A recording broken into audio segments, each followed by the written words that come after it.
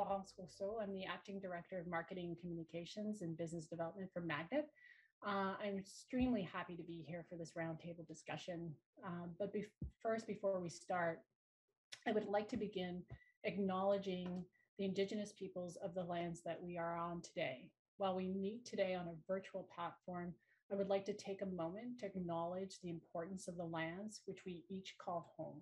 We do this to reaffirm our commitment and responsibility in improving relationships between nations and improve and to improving our own understanding of local indigenous peoples and their cultures.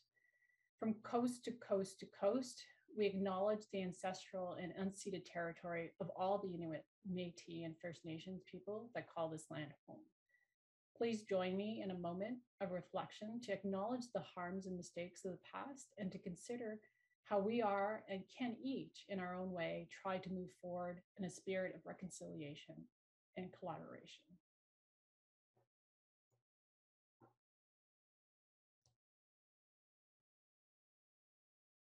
So welcome again uh, to our roundtable discussion, exploring opportunities in rural communities.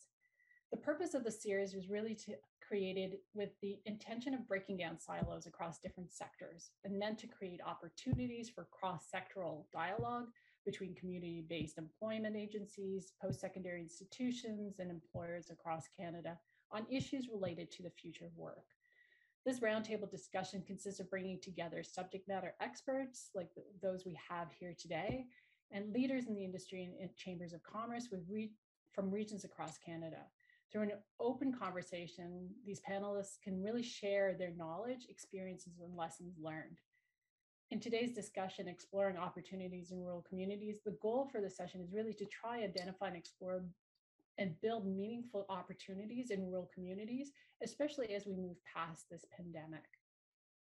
I would now like to introduce our wonderful moderator for the session, Chantal Bryan, CEO of OnPoint, who will introduce the panelists and get the discussion going. But before I do, I'd really like to thank the panelists themselves. I have we had a chance to just have a quick conversation before we started. I'm really excited about what what we're going to be discussing today and what they're bringing to the board. So I'd like to thank Lynda Brown, Jennifer Whelan, and Becky Turner for giving their time for this discussion. Thank you. Chantal, over to you.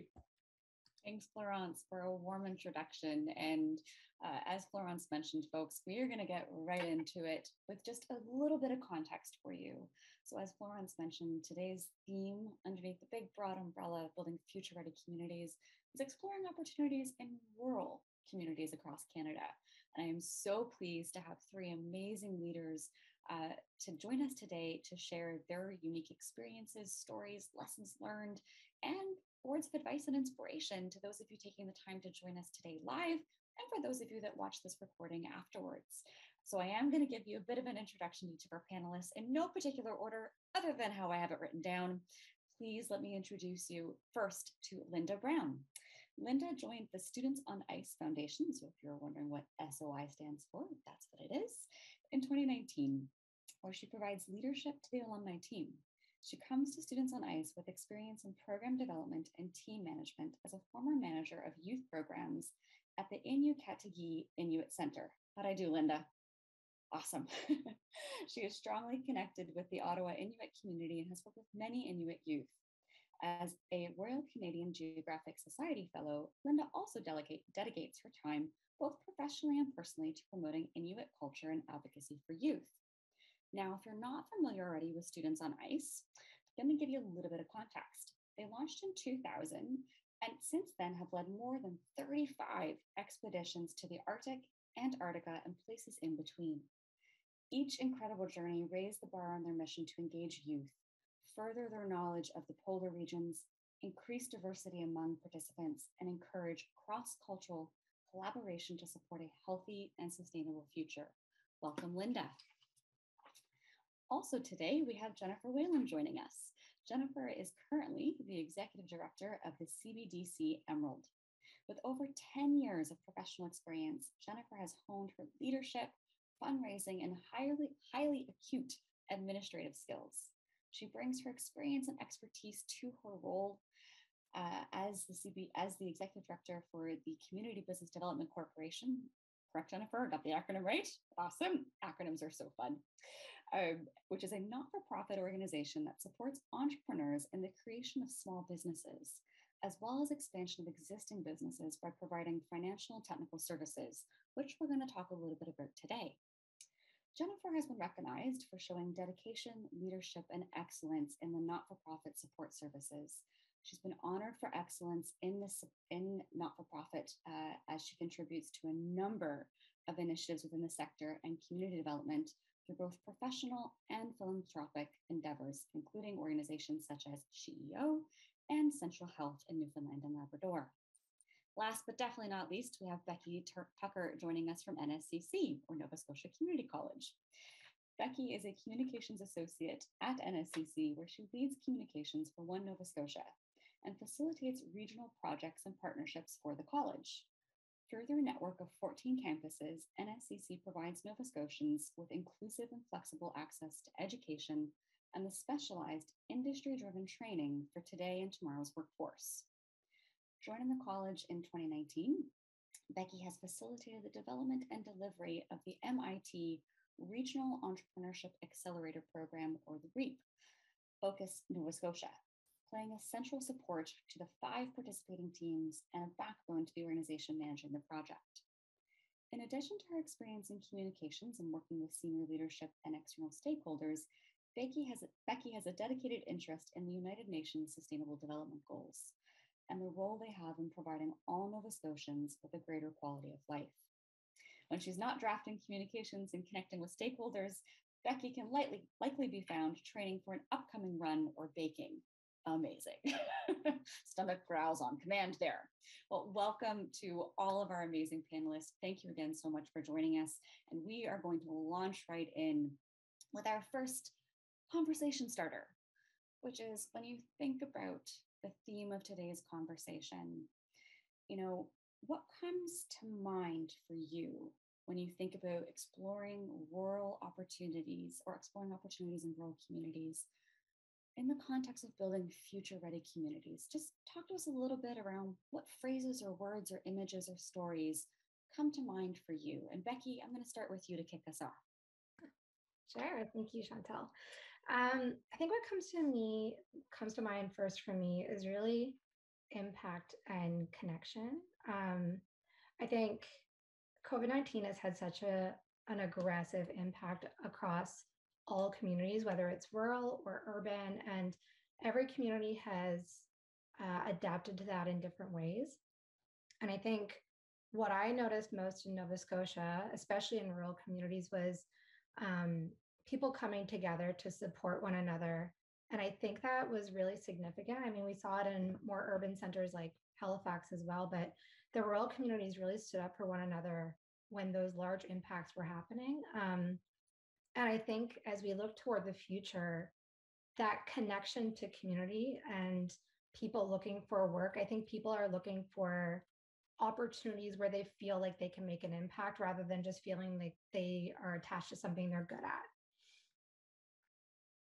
I actually just saw a, a, statistic today from a group called Brainstorm Strategy Group, and they specifically look at students um, and international students as a subsect of that. And the statistic they shared today was something to the extent of, I think, 50% of students getting ready to graduate expressing that they wanted meaningful work experience above and beyond just salary and compensation. So that was a really interesting characterization actually in, in that particular wording, right? Yeah.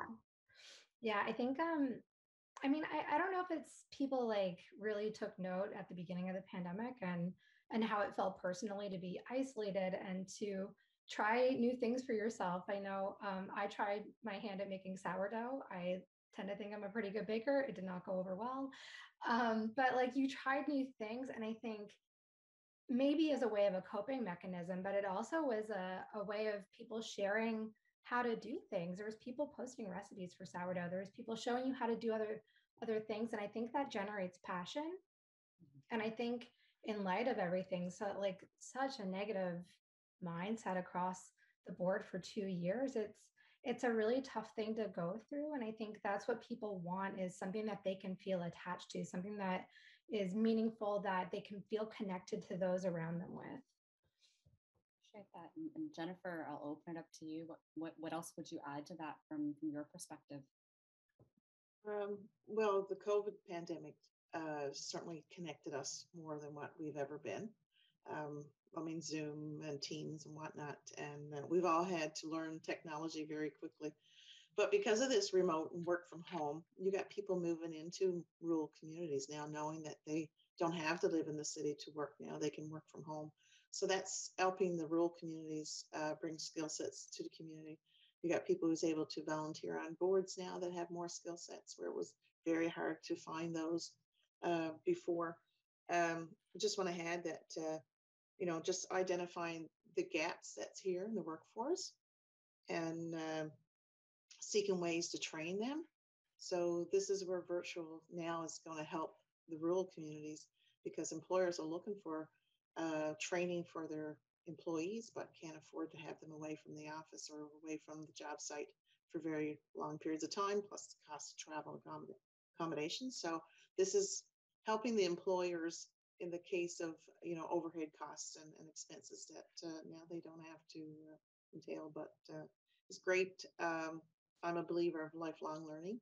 So any training, especially if it's free or low cost, I think anyone, no matter what age, should uh, avail of that. So the virtual part of this, the pandemic, yes, I think as bad as what the pandemic was, it did open a lot of opportunities and more so for rural communities and uh, for small businesses.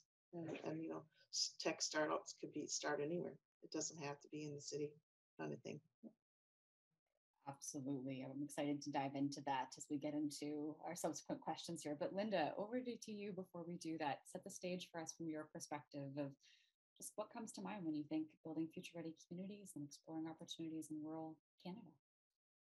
Well, I think of so many things, and I think both points that Jennifer and, and Becky talked about definitely impact too, uh, especially when we talk about my my homeland communities uh, are of Nunavut.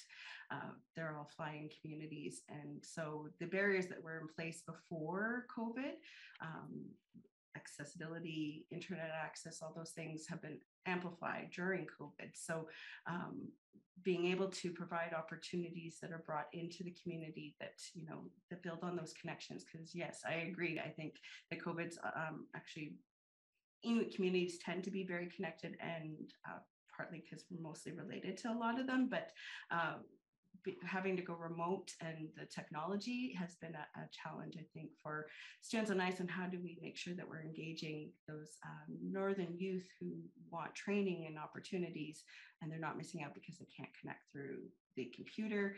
And then also through our Blue Futures program, um, obviously taking a look at the greener and bluer aspects of uh, opportunities because there's so much potential, um, I think, across the North, particularly um, looking at those uh, solutions that could happen, but ultimately they need to be led by those in the communities. So I think that's, um, yeah, my, my biggest point there. Awesome. And I think, Lynda, maybe I'll actually stay with you because you started to kind of give us some hints to, I think, what have been some learnings and, some success stories, perhaps, um, in terms of that you've experienced and or witnessed uh, in, in terms of when you think about how Students on Ice has responded to, um, you know, what the pandemic has brought about, but in the bigger picture of building future-ready communities in exacting the mission, quite frankly, of Students on Ice what stories can you share with us that the small wins and maybe some big wins of what's worked and, and what have you learned along the way of maybe things that you tried that didn't work so well? I have examples of both for sure. Uh, yeah, I think for the first part, the, the biggest success story that I can think of is a, a program um, that we call Expedition to Community or E2C for short. And it's community based programming across Inuit Nunangat. Um, and we hire local community coordinators in order to run programming uh, for youth, and the youth decide what that programming is. So um, it's it's an interesting perspective because what's happening in Makkovik is very different than what's happening in in uh, Inuvik. Uh, but there are some shared things that um, being able to talk to someone who's from a different community really helps to say, oh, I should try a shoreline cleanup. That I think our youth would love to try that or um, things like that. But particularly one story that really stood out for um, building future ready skills. It was about about six months into COVID one of our um, local community coordinators in Kugluktuk um, was working with youth and the youth were complaining that they were missing out on opportunities. They were missing out on things that were coming up, whether it was funding, training, um, even just getting online and watching a webinar because they didn't have access. The school was closed, which was the normal place that they would access computers. Um, that even if they had access to computers, that they might not necessarily know how to navigate uh, the, the, the internet so that some digital literacy skills would be really beneficial. So this coordinator jumped on that and arranged um, both uh, access to computers and tablets and, and uh, Wi-Fi and uh, brought in a, a person uh, from another community to do some digital literacy to help get those youth ready to be able to tap into uh, amazing training programs. So um, yeah, and again, that's building up. And so then another community heard this and was like, I should mention this to my youth and the youth were like yes we want we want some computers that we can access so we can get into opportunities and not have to leave our communities which is i think the biggest thing for rural and remote communities is often the opportunities aren't locally based and you need to leave and that adds a whole nother layer of um, issues and complexities and do they come back once they're trained and those kind of things. So yeah i think having programming within communities community led is is one of the big, biggest success stories that we have. Um, and yeah and I, I would say things that didn't work is you know the expectation that people could spend two and a half hours on zoom uh, with really poor internet. So um, finding workarounds that has definitely been something that we've been looking at doing.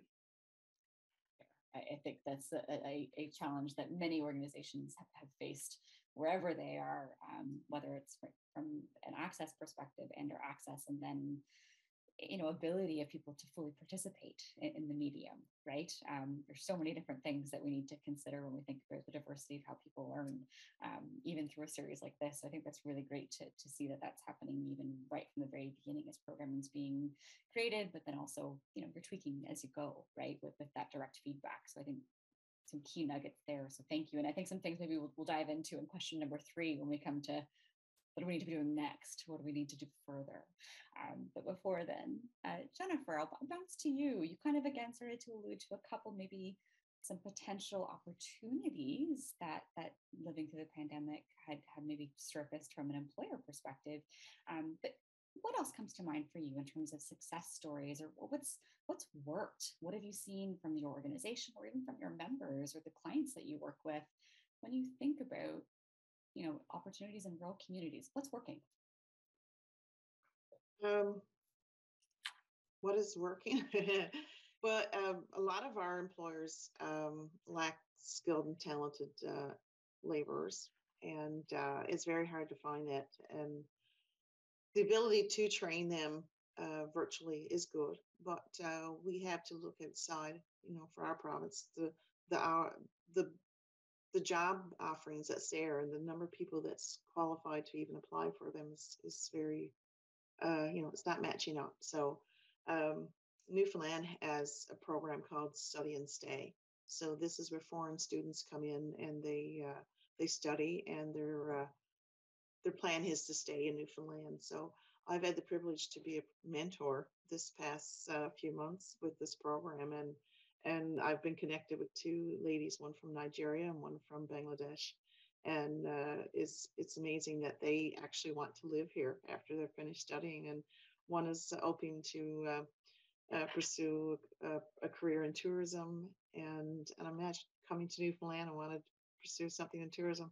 Um, but the other lady now wants to start her own business. So um, as an entrepreneur, of course, as, CBDC uh, this is something that we support, and I've been counseling her on that. So when she is ready to start that venture, that you know, so it's about us attract attracting the the right uh, skill sets and talent and uh, and entrepreneurs. Really, this is uh, you know we're a province that's growing, and um, there's lots of room in these communities, rural communities especially, for these people to join us. And if, like I said, if they end up doing something remote or consulting or anything of that sort, that can certainly be done virtual as well. So there's a lot of opportunities for rural, and uh, we have to be open to it. And uh, this past year, our provincial CBDC has, has um, educated us on equity and diversity and, and uh, inclusion. So you know it's uh, about uh, involving everyone and accepting everyone and uh, getting rid of our unconscious biases that we're not even aware that we have. So uh, you know it's it's times are changing and we have to change in order to uh, have rural sustainability in our communities so yeah that that's great to hear, Jennifer, in terms of, you know, everybody being educated, right? In terms of particularly when we're, you know, whether it's from the economic development side of things and our organizations like CBDCs that are working with entrepreneurs, it, you know, that has to flow through, right? We we all have a part to play, and that's a big part of, of what this series we're trying to encourage everybody to see their role in that. So again, I'm I'm very excited. Some beautiful segues happen here in the conversation. Um, Becky, what about from your perspective? What are some of the successes, some of the wins, and or lessons learned that you've witnessed um, over the last couple of years with NSCC as it relates to today's theme and topic? Um, a, a, couple of things that Jennifer and Lynda kind of sparked something for me. Um, that what was said about uh, people staying in community. So getting an education, but then are they willing to come back to that community that they were raised in? Um, and also the number of people that have started coming into more rural communities in the last two years as a result of housing pricing and lots of other factors. Um, so the population has increased in Nova Scotia significantly in the last two years. With that, we have a number a number of uh, people maybe looking to get upskilling, um, people with uh, skills that weren't in that community before. And so I think like seeing that broad range of skill sets or potential need for upskilling of people. So uh, learning uh, new technology, uh, if an industry has downgraded in a community. So I think in Pictou, Nova Scotia, um, the forestry industry uh, was kind of depleted a little bit. And so you have a whole bunch of people that are from one industry, it's what they've known for years, and that group of people still has a skill set, but maybe needs to be upskilled in another area to then obtain work. And so when I think of that, um, I also think of the work that I've done with um, our MIT REAP teams. So these teams did a one year program with MIT where the the outcome was to better understand their functional economic region, which essentially um, the Nova Scotia government did some data research and identified 11 functional economic zones in Nova Scotia. And each of these are built based on um, identified areas of uh, comparative comparative advantage. So, on our south shore of Nova Scotia, there might be a really thriving industry in mining and in fisheries, and in the valley of Nova Scotia, it's less water based. So we have more agriculture and wine industry there. And so it's kind of based on these industries. But once the teens were in the program, one of their assignments was to do their own regional data collection. So go out to um, entrepreneurs in their region and understand what is what's getting in your way of like having success in this region um, and also um, i can't if it was risk capital maybe that they went to to get their understanding as well. And what our teams came back with was not a bunch of data, but they said, we're having trouble accessing and understanding like what gaps there are here because there's not enough data. And so to the point of upskilling, to, to be able to put in the programming in a region, you need to know where the gaps are. And I think that's maybe not necessarily a success story, but in a way it is because we identified the gap as data and we need more data collection to understand what new programs need to be put in place in these regions for there to be economic success across the province. So that's kind of the main one that that stuck out for me. Um, when these teams completed their program, they each had to identify their must-win battle, which is a project that they want to keep working toward in the coming years um, once the program is complete. And a couple of teams have these really great, inclusive, like beyond their region uh, ideas. And I think um, something Jennifer, you had mentioned, um, or maybe Lynda, um, was about um, workforce and labor shortages. And so that's what one of our teams is focused on is identifying those labor shortages, doing more of their own data collection so that they can best address what is needed in that region and then put the programming in place so more people are willing to go to school in that region and stay and work in that region to help the economic ecosystem. I appreciate that, Becky. And then Jennifer, that kind of some was a little bit of what you and I talked a little bit in our, our pre-panel conversation in terms of how do you line up, um, you know, talent to opportunities and opportunities to talent. And, and it's been an ongoing conversation that I think anybody who's been working in the space of economic development or, or talent development or students or youth, all of the places that are connected to that, it's been a conversation for several years. Um, and so I think it's really interesting that you know we're still we're still talking about it a little bit differently. Uh, and Lynda, I'm kind of going to bring it to you for just a minute because you mentioned the blue and green economy, and to me, I think this is a good maybe opportunity just to actually share a little bit, if you don't mind, what those actually are for folks who maybe not familiar with, with that terminology and, and what maybe the opportunities um, exist within those, when we talk around the blue and green economy could you maybe just give a little bit of context for folks joining us in the series of, about those particular opportunity spots? Absolutely. So, uh, lots of people are aware of the green economy, and it's um, obviously making um, decisions and, and impacts around climate and ensuring that things are, um, you know, taking into recycling and things like that. The blue economy is somewhat uh, a relatively new term, but it's it's basically anything connected to water, whether it's oceans, freshwater, wastewaters in urban settings, um, and obviously Canada has a lot of water, um, and so the the impacts are really great, and so much so that um, our Students on Ice has always uh, gone on expeditions to the Arctic and Antarctic. And in the Arctic, um, especially our, our, C3 expedition and our Arctic expeditions, those go along the coastline of uh, Inuit Nunangat, and uh, which is the one of the longest coastlines. And so most of the Inuit communities are in coastal communities. And so the opportunities for uh, jobs that are uh, related to water are great. Um, they're traditional jobs, things such as fisheries and things like that, but also uh, with innovations, new jobs are coming in and new things, and especially um, uh, the blue and green are often tied together because uh, in order, you know, things like um, if we're doing water testing and things like that, uh, and teaching youth how to do that in a community because that's what they're doing, um, to you know, learning to do uh, ice readings uh, through the SmartICE program, which is a partnership. Um, those kind of things are, are really important for us to be able to provide and uh, show those opportunities. It's uh, yes, green needs blue. Thanks, Tara. Uh, because they work together. You can't separate them. And that's the same with the approach that we take to our programming. Those are the fundamental because um, yeah, some of the old jobs aren't necessarily things that we want continuing in our communities and even jobs that are like things like mining um, it's not as straightforward. Yes we want it no we don't. So uh, providing those opportunities for youth and for employers to figure out how that works in northern communities having the, the lens of either green and blue is a really good thing because it ties very very nicely with traditional Inuit knowledge about caring for the land or the Nuna and and everything that comes into it.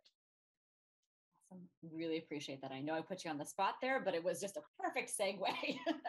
and we're talking opportunities, right? And we're in rural communities. And I think clearly that is, that is not just for rural communities, it's actually right across Canada. Um, but I think that that's a great thing just to put you know, almost a double emphasis on as we talk around where do we go from here? Right? Um, so yes, and thank you, Tara, for, for jumping in there in the chat, really helpful. Um, in terms of kind of maybe continuing on that a little bit in terms of starting to move into so now what, right? So we've had some successes, we've had some small wins, we've had some great wins, we've had some bumps along the way in the last two years in particular. Um, what advice would each of you give from all of your your lived wisdom and experience the, the things that you've seen and and heard of from your uh, unique uh, experiences and organizations how would you characterize the primary role that each of us has to play in this? So you can think about it from um, an employer hat from an economic development hat from the college hat or post-secondary and or quite frankly also from a the talent that we know we need. We're all part of the puzzle. So I would welcome um, Becky. I'll start with you to speak to that from as many of those perspectives in terms of what would your advice be in terms of what's the role that the global we that we all have to play in this building future ready communities, particularly when we look at exploring and creating opportunities in our rural places across the country. The, the best advice I could give would be to break down the silos. Um, a lot of the work I've done, um, what I've seen a lot is one organization working on something and they get a head of steam about it and they've done lots of wonderful work and then you meet with another organization who's doing the same thing and and they're doing a lot of the same work but these two aren't talking and you're kind of seeing both sides of it and i think you know two heads are better than one. If if the work is being done and it's for the collective we if it's for the the betterment of all communities whether it's in one region on one end of a province or on another um, i i think it's there's opportunity in talking with one another. You can identify challenges that people are facing. You can identify um, things that you haven't thought of yourself. And i I think there's a lot of value in that so that everybody wins at the end of the day. Um, um, a lot of work that I've done looking into the SDGs is a very similar mindset. The SDGs were set out to be partnered with so that people can work together for those 17 goals. And I think, I think if you take that mindset, it's to work towards something together a great way to say that. And I think that's actually, you know, Jennifer, even through your volunteer hat with CEO, you know, they support women, female identifying entrepreneurs who are working towards the UN's goals as well. So there, you know, some connectivity there in terms of frame of mind and, and actioning that mindset, right?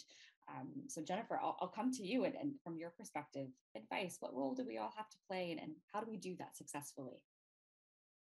Um, well, from my role as as uh, CBDC executive director, I mean, uh, our employers, um, our business owners, our employers, and and their lack of uh, finding talent and whatnot. You know, it's uh, is being proactive and not reactive. You know, is identifying the gaps and knowing what needs to be done in the recruitment process and and whatnot, right? And uh, but um, it's even the locals that you know even the older generation now are retiring at older age you know rather than at the set age you know usually. And uh, we could be tapping into that uh, demographic as well right? Because uh, of the shortage of labor. Uh, and and um, you can't tell someone that they're too old to learn. A lot of people are always told that you're too old to learn.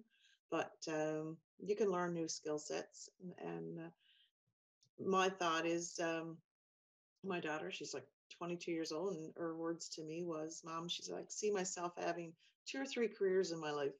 So, you know, to learn skill sets and to be able to transfer across sectors and industries, you know, uh, that's why I encourage learning because uh, what you learn from one industry, you can transfer it to another industry. So don't just limit yourself to just one set of skill sets, kind of thing, right? Um, I do want to mention um, um, that CDC offers training subsidies for uh, management skills and like you know bookkeeping and uh, marketing and whatnot for businesses. And when I say CBDC, uh, for those that are, live across Canada, that's referred to as community futures. So if you have a community futures in your in your community, that uh, they do the same thing now, whether they have that training or not. But I'm sure they're able to connect you with some training. But I also want to add that um, rural communities sometimes can't just survive on business, private businesses, but there's a social enterprise option that they can do in co-ops and whatnot. And uh, CBC's a special funding program for social enterprises at a lower interest rates. And so, so I mean, this is the future of rural communities. And, uh, you know, everyone is volunteering on organizations and volunteering their time and they're getting burnout, volunteer burnout and whatnot.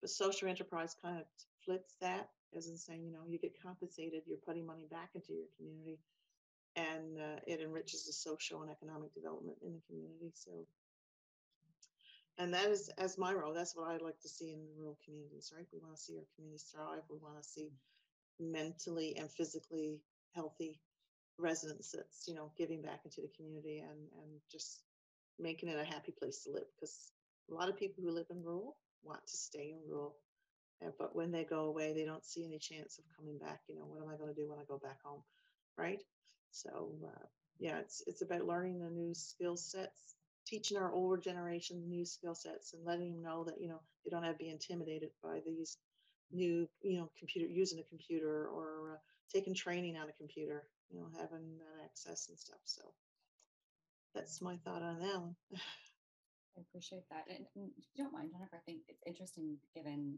you know the work that the CBDCs do in terms of that entrepreneurial spirit and mindset, and then actioning um, any any words of advice to somebody who maybe doesn't consider themselves an entrepreneur yet or has never maybe explored entrepreneurship to date in their career whether they be somebody who's just graduated from high school or somebody who's got you know a number of years in and look is looking for career number five perhaps any words of advice to, to somebody maybe around how to think about exploring entrepreneurship oh for sure i mean we're here for counseling so business counseling and ideas. And most businesses start off with something that you like. It's an hobby or some kind of skill set that you have that you can monetize it, right? Turn it into a business. And, you know, we say turn your passion into profit. So, I mean, it's uh, about finding something that you like. And there's a market for, and, and a lot of people think that uh, the market is flooded. And I don't, you know, silly for me to start this, right? Uh, but even like online businesses now, like you got a lot of people doing coaching and, and whatnot. And, you know, it's, it, there's always someone out there looking for your services. And to think that, oh, someone won't want me or there's too many, the market is flooded is not necessarily so because when someone buys from you, they're buying from you and your, your um, personality and your customer service and how you give back to them. So that's how you keep clients is, uh, is is how you treat them really mm-hmm. so you know you could have like 10 hairdressers but might be only one that's getting most of the customers because of their skill set could be because of their personality or or whatnot so yeah there's openings and ideas for anyone and i encourage anyone especially youth that's in technology and i don't don't care how off the wall the idea is you know come in sit down and and talk with us about your idea and uh, and as you gain more research and you know finding out what you're focusing down narrowing down basically because someone, someone could come in with like 10 ideas but it's focusing it down on one and uh, going from there so yeah. Awesome i appreciate that i think again those are explore opportunities that come in all shapes and sizes right? Uh, so Lynda from your perspective uh, what advice would you give um, to folks as they're thinking about what role they have to play in this idea and the space of building future ready communities and creating and or maybe more so celebrating existing opportunities in rural communities perhaps? What comes to mind for you I think the, the first thing that comes to mind is obviously uh, working on building those partnerships and working with communities. Um, it's, you know, no one knows their community best than the people that live in it. And um, when you talk about Inuit Nunangat, particularly, you know, um, the four different regions, there's, um, it's also you need to build in that uh, the understanding and knowledge around the traditional Inuit culture and how that ties into uh, uh, how things might happen in a community uh, and you know keep an open mind that things might not go necessarily the way that you envision them and that you just need to go with the flow with the community. And it, ultimately um, I, I mentioned this before it's channeling those that funding and training and resources straight into those communities uh, like we do with our E2C program or our Blue Futures Pathways program, in which we, we bring the resources and uh, programming to the community. And it's not a cookie cutter program. They it really works for those communities. So again yeah it's building on those connections and the things that are, like you said opportunities that are already there. And how can we amplify them break down those silos so the people are all working to collaboratively towards the same goal appreciate that and actually very relevant. I just uh, saw a question come up around, and, and maybe Lynda, well, just from your perspective, you can speak to maybe the feedback you've heard for Students on Ice in terms of uh, what was the particular bottleneck or bottlenecks perhaps or barriers in terms of actually being able to access the, was it access to internet was it technology or was it a combination of factors you mentioned you know not being able to go into schools was, was part of it but can you maybe expand a little bit around what particularly or what particular parts of that barrier of access were noted or came back as feedback? There's def- there's so many, um, and like I said, these were things that were in place before COVID, but COVID just really amplified the those issues. So access is definitely one of them.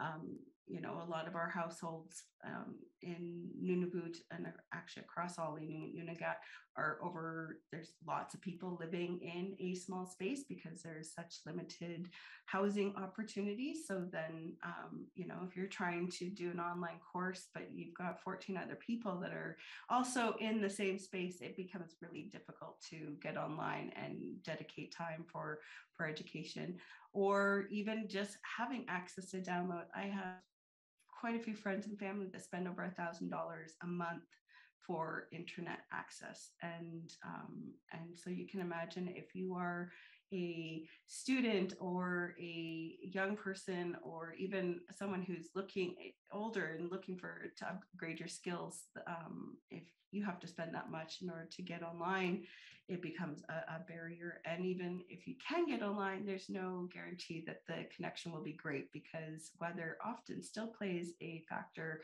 um, in internet connections so you might be have all the data that you have in order to get into something but then it's um, a blizzard and you can't connect. So those those things were definitely in place beforehand but it, it definitely has gotten worse.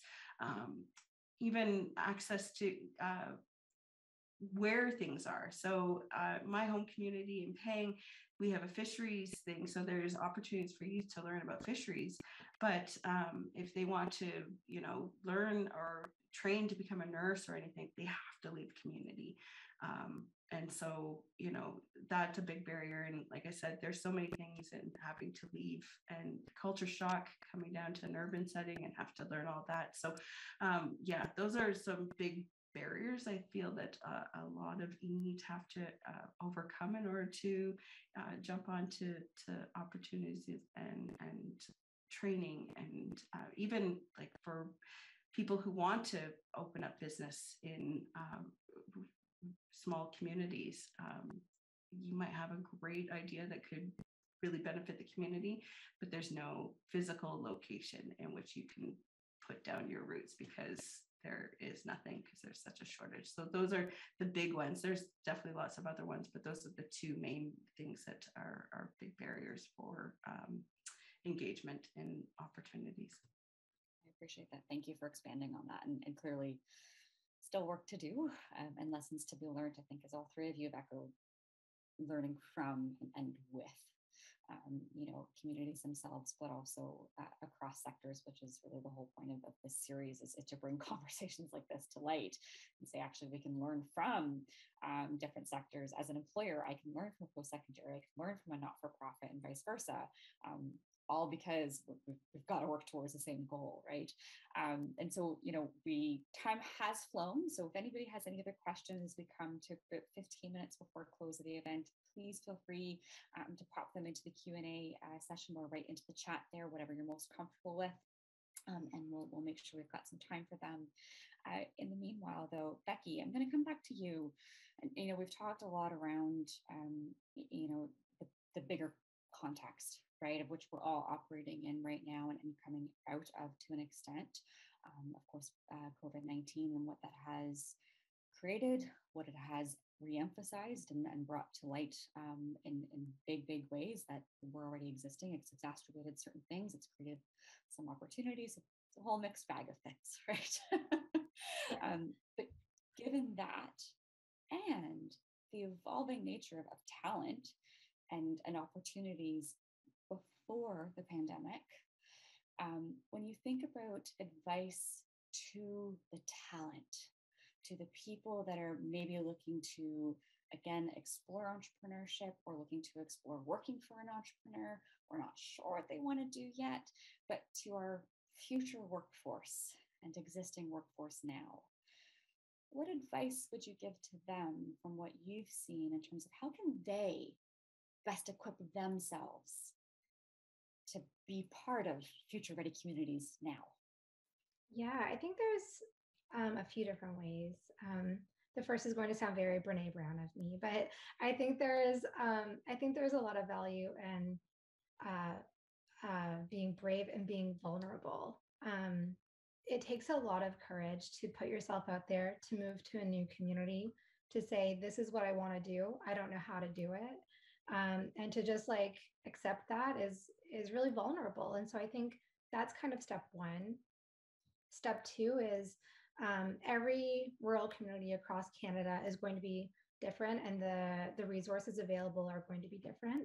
Uh, so I'll speak to Nova Scotia and what I know, but um, there's a lot of uh, great resources like the enterprise networks, the regional enterprise networks in Nova Scotia, which um, are organizations that are connected to small to medium enterprises, entrepreneurs, um, CBDCs. Uh, so I think there's these resources you can connect with to say, here's what I want to do. I'm not really sure the path to go. And they have a great network that they can connect you with to find a mentor or somebody to give you a little bit more information on the avenue you want to take. Um, obviously, I'll be a proponent for community colleges. Um, specifically, Nova Scotia Community College, um, we have obviously lots of programs. We have 14 campuses across Nova Scotia. Um, and outside of that, um, when I think of organizations that are looking to attract new talent, um, because that's something that we've been experiencing as well, um, we have uh, at NSCC, we have community innovation leads. So, one for every region of the province where organizations can reach out to these CILs, is what we call them, and say, we want to do a customized program to attract this type of talent or to upskill our employees on this type of methodology. And so a custom program is made specifically for the organization and brought in and taught to people. And I think there's value in that. So I'm not sure what the rest of Canada looks like for programming like that, but if it's happening in Nova Scotia, it's likely happening somewhere else as well. Um, so looking for opportunities for uh, customized programming that could provide you with that opportunity to expand uh, whatever avenue you want to go into. Awesome. I, I, think some really great nuggets there. And, and, absolutely, we could have a whole other conversation on upskilling and reskilling and micro credentialing and all of the new pathways and existing pathways of, of, of career journeys, right? Um, so I appreciate that. And, and Jennifer, from your perspective, um, and I think uh, absolutely from to that to the workforce, to the talent, future and existing, no matter where they are in career stage, what advice would you give to them to equip themselves to be able to ride out, you know, the next coming years in a way that sets them up for great economic um, sustainability themselves and for their families and communities? What comes to mind with me is a, a federal funding grant that a lot of employers don't take advantage of, and that's uh, the Canada Job uh, Grant. So it's administered through our provincial program, but I mean, all provinces should have that as well. So, I mean, I think it's, you can get up to $10,000 a year per employee for them to uh, upscale their um, training. So uh, employers can avail of that. And that should be on the government website. But uh, yeah, you can get 10,000. You could have several employees that could uh, avail of that. So you want uh, more skill sets for your employees or you as an employee would like to get more training, you can approach your employer about doing that as well. So that is a good opportunity for them to uh, learn new skill sets, new talents, and uh, I mean it increases your uh, your you know you're strengthening the business and you're strengthening your career there if you want to continue working there. But again, as an employee, you're learning a skill set that you could take and move on elsewhere as well, right? So it's great there for anyone who wants to uh, enhance their skills with the careers, and this has helped helped to pay for that. Awesome. We will definitely make sure we get the right link to share in our recap. Yes. That's some good nuggets. There's been, there's been several good resources shared through it. So thank you all for that. Um, and last but not least, because definitely, again, this is a start of a conversation from your perspective, Lynda, you know, what, what, what would be your advice and or what advice do you give students on, uh, on Ice youth and or the alumni that you work with around what do they need to be thinking about or doing to, to prepare themselves to be a part of future ready communities now and for years and years to come? That is a great question. It's actually something in our Blue Futures Pathways. There's actually a portal. It's called the Port Portal for Opportunities, Resources, and Talent.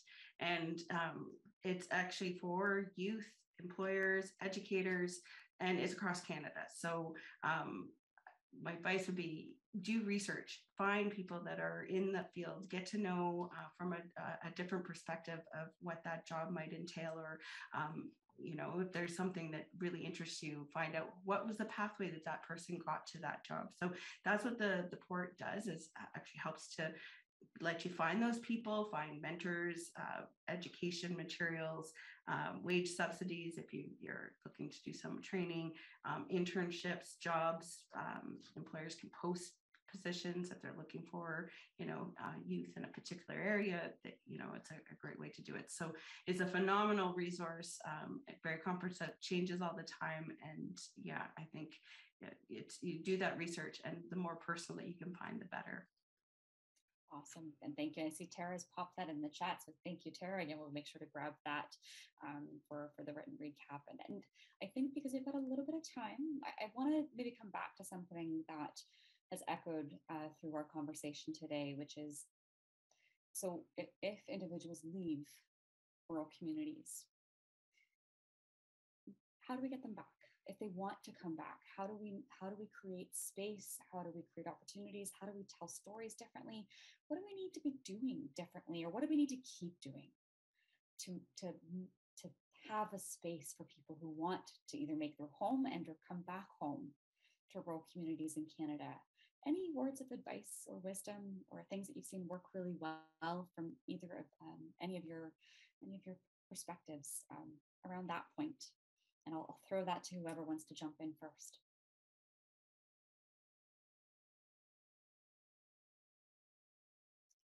Lynda, what about yourself? Anything come to mind? Yeah, I there's lots of things. Um, again, I, I myself live in an urban setting and have not gone back to my home community, and and part of that is because you know education, employment, um, um, housing. Those are all big things that um, played a factor as to why I'm here. And so I think, yeah, if we're thinking about how do we support rural and remote communities and being able to keep or bring back um, uh, talent, it's you, have got to create the opportunities and and break down those barriers. So um, one of the programs that a uh, partner of ours, uh, it's uh, Nunavut Sivuniksavut, which brings youth from Nunavut um, who aren't quite ready for college because of education in high schools might not be up to speed, um, but they want to further their education. They they come to Ottawa, but the supports and things that they're given um, really encourage them to go back into their community. And um, if they don't, if there's so if they have an interest in a job or a field that maybe doesn't exist because their community is only 600 people, um, NS really helps them, or Nunavut Sivuniksavut really helps them in figuring out how can you go back into your community and have the dream job of your choices and try to work with those partnerships. So um, I think there's some really innovative, thanks Tara for posting in there, innovative ideas of, of how to train people, but ensure that they go back into where they're from um, and be able to give back to their community that way. So uh, there's some neat examples. There again some training programs that are in communities, and um, they only go out like for a week or two to another community to learn.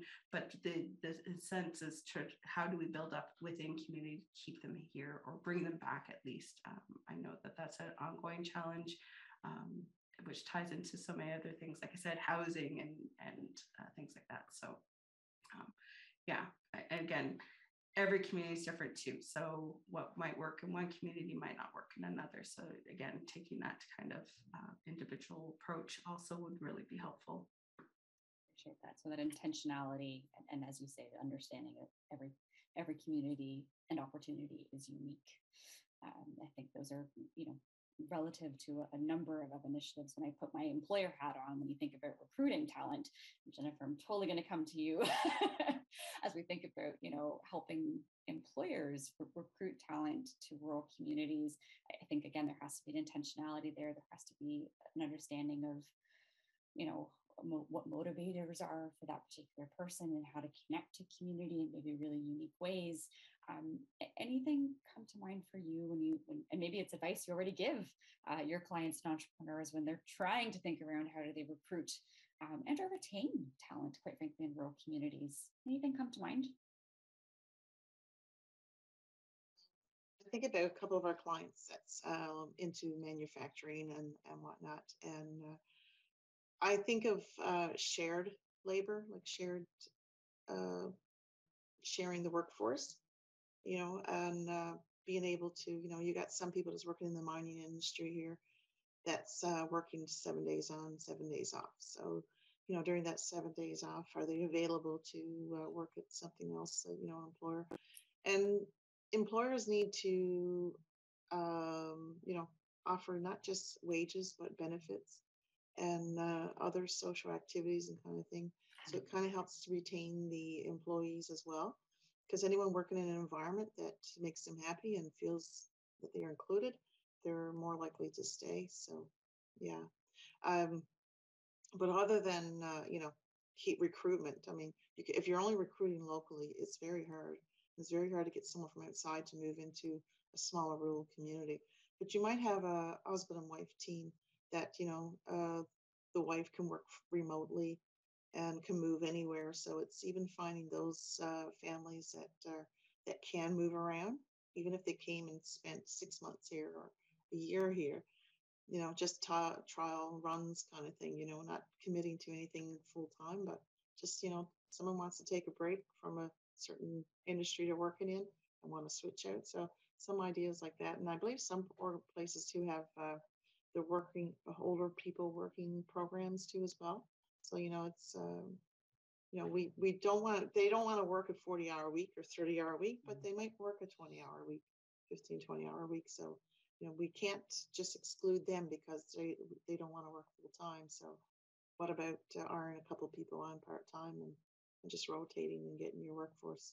You know a lot of older gentlemen sure know how to do the carpentry business or the welding and stuff like that. So you know that's um, my advice that way into trying to include it that what we have, you know, the workforce that we have that that's available to us, the skill sets and talent. I appreciate that. And I think Becky, I will toss it over to you if you had any 30 seconds or 45 seconds or so from your perspective. Anything else we need to be thinking about in terms of recruitment, retention in rural communities? I'll piggyback on what Jennifer said because I've heard it pop up in Nova Scotia as well. Is shared workforce. Um, rural communities have lots of people that work hourly rates um, in various industries, and and if they can be shared amongst a few different employers, it benefits the whole region. Um, the only other one I would add in is uh, maybe relying or looking to hire people on a remote basis if the industry uh, is applicable, because there's lots of talent out there. So don't just look within your own region, especially if you can help hire somebody on from somewhere else. I think awesome. And, and thank you so much, panelists. Time flew. It does in these conversations. I think, again, you've been a wealth of knowledge and, and information and resources. So thank you also, uh, Tara, for popping things into the chat and our panelists as well for doing that along the way. We will make sure we grab all of those nuggets um, folks that were joining us today, there is a brief survey. We would totally appreciate if you could take 30 seconds, give us some feedback. Um, this series is going to continue. Our next event is on April 21st, looking at building a future of work for all, and that's going to be hosted in French. And then we have another another ses session on April 28th, which is exploring what are soft skills in 2022. So if either of those things of interest to you, please join us. And for now, join me in saying a welcome uh, or thank you rather uh, to our amazing panelists Thank you, thank you so much for your time today. Much appreciated and wish everybody a beautiful rest of your day wherever you are in Canada. So thank you, everybody.